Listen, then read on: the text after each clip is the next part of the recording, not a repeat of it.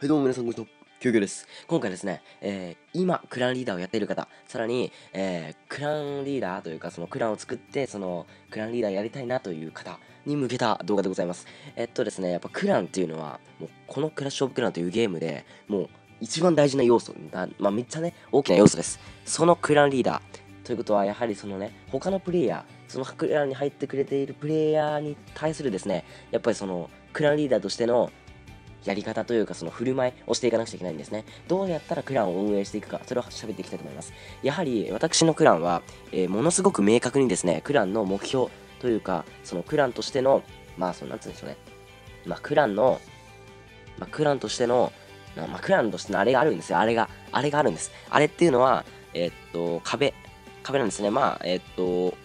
まあ、その、クラン説明見てもらえばわかるんですけれども、このような感じで、もう完全に壁クラン。壁を重視したクランとなっているんですね。まあ、試しに、まあ、一番上のヤスさんという方、このヤスさん、まあ、ちょっといいですかね、ちょっと、すいません。ちょっと動画出演以来、はい。まあ、こんな感じでも本当に、もう壁が、えー、非常に重要となってくるクランなんですね。えー、っと、それなんでかっていうと、えっと、そこら辺に転がってるじゃないですか。クランっていうのはいろんな、もう、まあ、必要なトロフィー数、私のクランは1400としてますけれども、まあ、基本的に、えっと、例えば、必要なトロフィー数1400で、えっと、ワイワイやってます、援軍はみんなで送り合いましょうっていうクランなんてめっちゃどこにでもあるんですよ。そんなクランに、その強い人というか、えっと、やり込んできた人っていうのは別に入りたくないというか、まあ、別に入らなくてもいいですよね。他にクランがあるので。ですけども、そうやり込んできた人のためというか、やり込んできた人が、まあ、どんなクランに入りたいか、そう考えた時に、自分がやってきたことを活かせるクランに入りたいと思うんですね。例えば、自分は、えっと、その、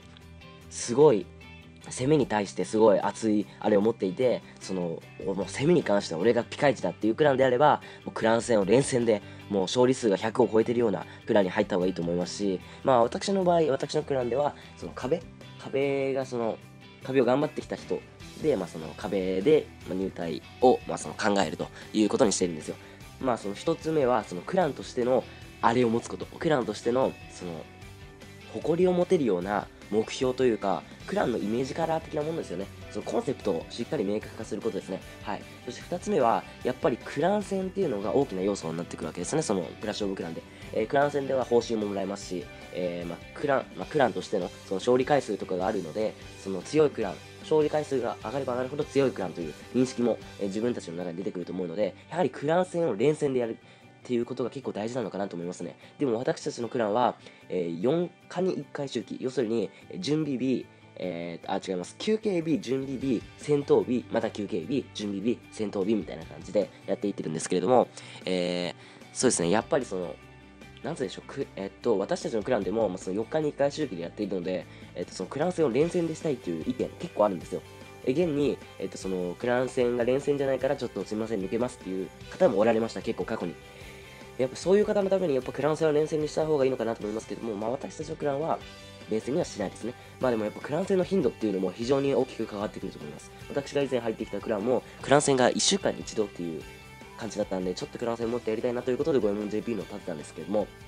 まあ、連戦というよりは、まあ、私たちのクランは4日に1回周期という感じですね。まあ、2つ目が、そのクラン戦の頻度。そして援軍ですね。えー、やっぱりよくあるのが、他のクランとかでも、やっぱりその、なんつうんでしょう、援軍は、みんなで送り合いましょう。援軍はなんかこう、なんか、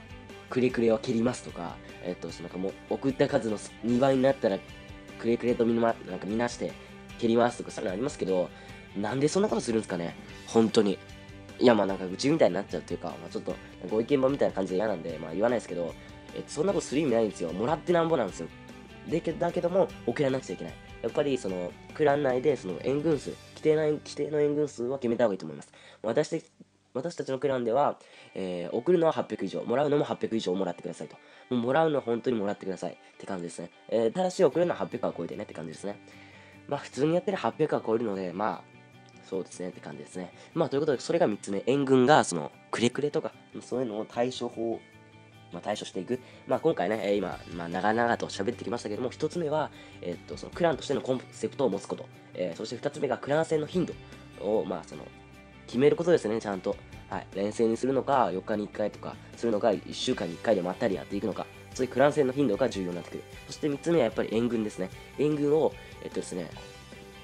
普通のクランってやっぱなんつうんでしょうね。なんか、普通のクランつっても一概には言えないですけども、まあその、なんつうんでしょう。なんかくれくれ開けりますとかそういうんじゃなくて、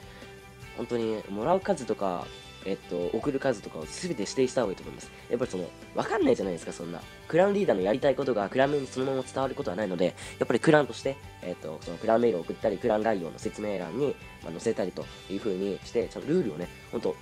クランとしてのルール、コンセプトを作っていくことが非常に大事です。えー、これからですね、えー、クランリーダーをやりたいと思っている方、そして今クランマスターをしている方、ぜひ、まあ、参考にされ、してもらえたら幸いと思います。ということで、まあ、私がやってきた、まあ、クランリーダーとしての、まあ、ことを今回ちょっと長々と喋ってしまいました。まあ、ご視聴ありがとうございました。